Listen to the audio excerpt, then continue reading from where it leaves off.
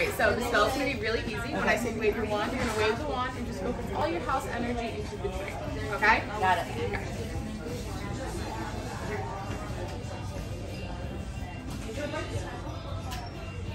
Ready? Ready? Yep. Alright, wave that wand in the air. Shake the potion like you just don't care. We'll get your hips and your derriere and say poof. You're a Ravenclaw. Okay. Congratulations. Thank you very much.